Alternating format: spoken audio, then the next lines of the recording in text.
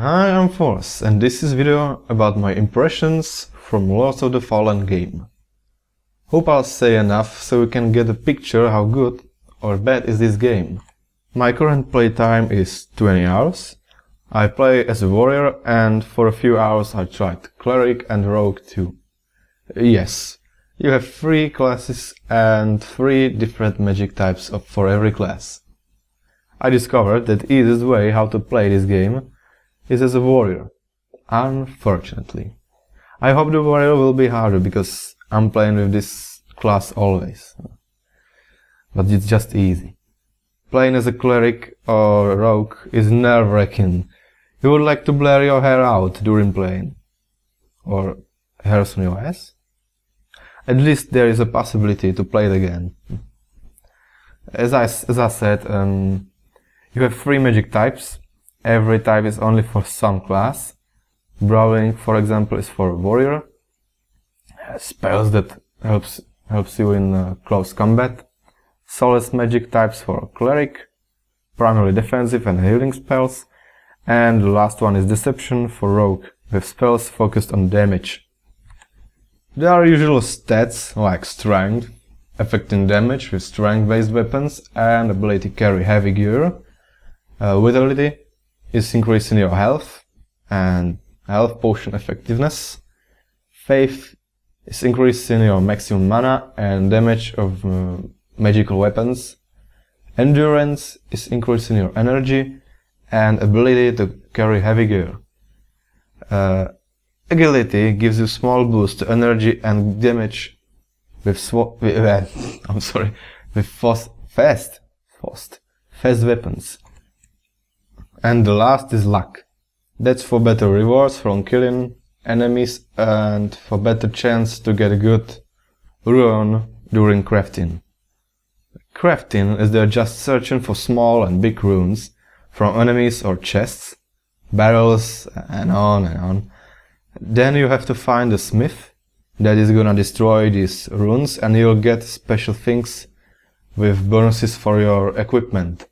But of course, your equipment has to have such socket for these things.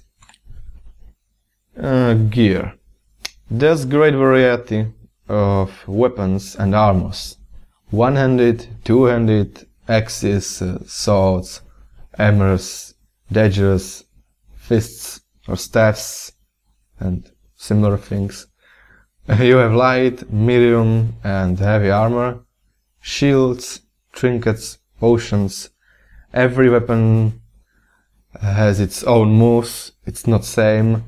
You'll use more energy with hammers than with swords. You'll be faster with uh, light armor, you know, it's not stupid. Interesting thing about weapons is, and should be mentioned, is sound. Weapons sound sounds like uh, real steel, you know, it's very interesting and nice to hear.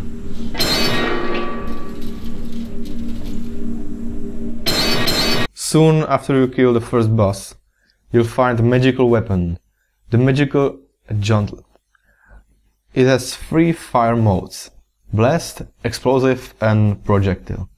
Blast knocks uh, enemy back, explosive dealing the greatest damage from all of these three, but you must hit the enemy and that's not for sure with this. And projectile dealing nice damage, you can use it even if your target uh, is a bit far. Far. All the fire modes can be enchanted, so they make different effect or damage. Uh, enemies and bosses. Boss.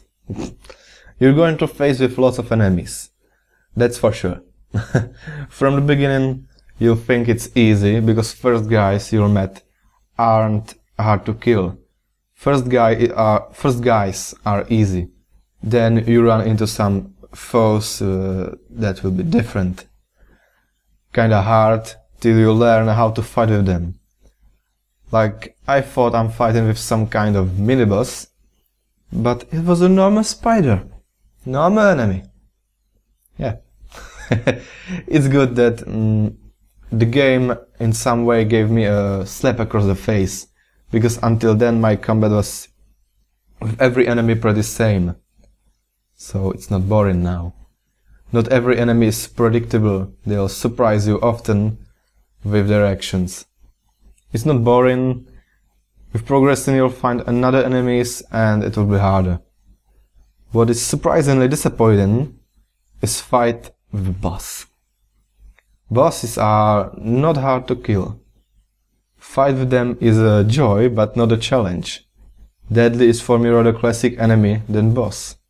That's kind of big change in comparison with Dark Souls, where you kill the boss for your first time on 50th uh, try. Yeah, at least I did so. And in Lords of the Fallen, sometimes on fifth. That must be really big misfortune. Leveling system. In Dark Souls, you had souls, which you replaced for attributes. Here you have a classic experience. You're replacing them for spell point or attribute point. Interesting is that instead of changing your experience for these points, you should rather save them. Once you have like uh, 20,000 of experience, you'll get a double bonus experience for every killed enemy. That's interesting, isn't it? Hmm. Yeah, I know, it's interesting till you die, then again, and you lost everything. Yeah, if you die, you have uh, to go and get your ghost with all of your experience, and if you die again, without the ghost, you lost everything permanently, like in Dark Souls. The difference is your ghost is slowly disappearing. Uh, that means if you get to the ghost too late, you'll get back less of your total experience, like 90% or 30% and on and on. By the way, this is your checkpoint on, or bonfire. Call it as you like. You can save your progress here and level up your character. Enemies won't respawn after you use it. Uh, that happens when you leave some area. Now I'd like to mm, talk about uh, what, what, was discussed or still is discussed uh, about the game. Uh, the main thing that was discussed before discussed before release of this game and after the release is that uh, it is not hard as Dark Souls, so it is not worth to buy. Interesting is people didn't play this game but still they knew it is or it will be bad game. Of course, it is not hard as Dark Souls. I have to say, that's true. If you imagine classic game difficulties like um, easy, medium, hard, veteran, uh, nightmare, Dark Souls is by all means really fucking nightmare. And Lords of the Fallen is somewhere between veteran and hard, rather hard. But that doesn't mean it's a bad game. Lords of the Fallen is trying to be like Dark Souls, but in the easier package. And developers are doing it good, in my opinion. What is literally better, in, in comparison with Dark Souls, is storytelling. You know, in Dark Souls is really great story, but majority of people who played it don't know there is some, because you have look for it. Story is not shown there like it commonly is in video games. In Lords of the Fallen you have scrolls that will tell you what happened before and there is communication with uh, NPCs with choices of questions so you can really find out what is going on. So yeah, that and sounds of weapons are better here. Just for some people I'd love to mention that I don't think Lords of the Fallen is better than Dark Souls. I'm just saying in what way it is? Altogether is of course Dark Souls the winner. Uh, the second most important thing that is making final rating of this game worse is optimization. And I'm sorry, but I have nothing to say about this. I'm in the middle of the game, uh, 20 hours behind me, and it never crashed or something. I don't know why it is happening to others. That's a mystery. Uh, speaking about this, I remember one PC Gamer review uh, the game was crashing into reviewer really often and its GPU was uh, GTX Titan.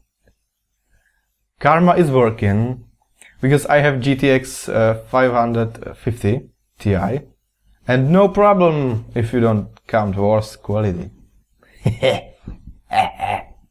Sorry. I think that people who didn't play Dark Souls because of difficulty could play Lords of The Fallen. You learn the basics, the game is with controlling and tactics similar to Dark Souls.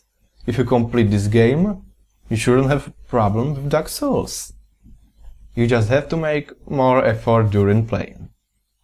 And nevertheless, people who played uh, Souls could play this game as well, not, not understanding the lower difficulty. It's a good game, it's entertaining, of course. It is not the best hardcore RPG in the world, but if you won't buy it for a full price through Steam or some retailer, I think it's worth of your money. Currently it is uh, on Steam for the release price for 50 euro or 50 dollars or 30 pounds. And well, as I mentioned, it's a good game, but not so good game for money like that. Fortunately, you can buy it from better retailer. A link is in the description. For 27 euro or 34 yeah 34 dollars or 22 pounds. And that is fine that that's finally sounds better. Reasonably huh? I hope this video was in some way useful for you. If it was please subscribe my channel as a symbol of your agreement. And thanks for your time. I'll see you next time. Bye